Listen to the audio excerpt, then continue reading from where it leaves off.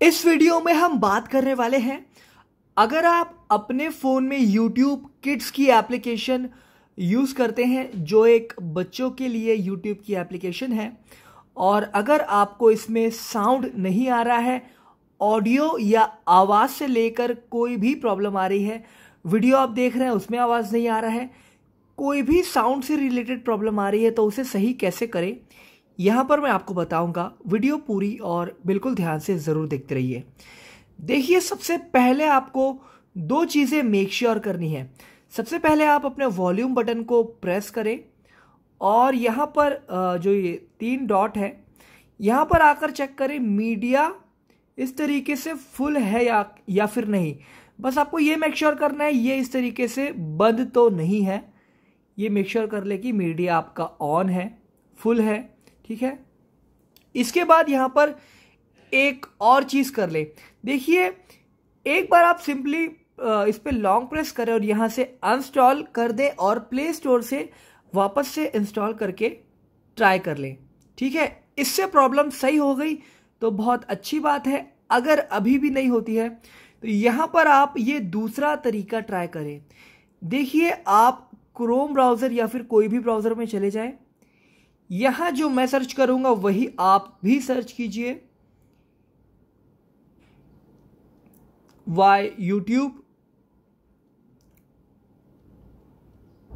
Kids up to down यहाँ पर आप ये सर्च करें। एंड अप टू डाउन की वेबसाइट पे आपको यूट्यूब किड्स दिख जाएगा। ओपन कर लें।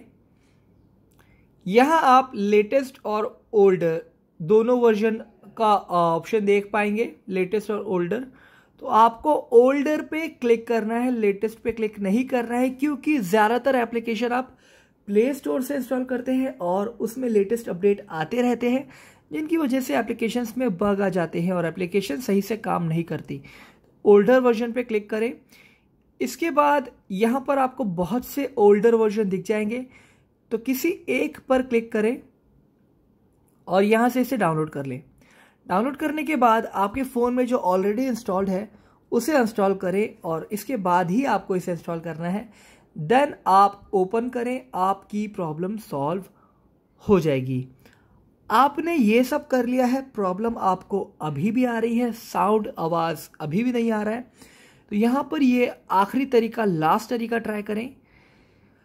देखिए, बहुत बार क्या होता है कि आपके फ़ोन में ही कोई परमिशन से रिलेटेड या साउंड की प्रॉब्लम फ़ोन में होती है।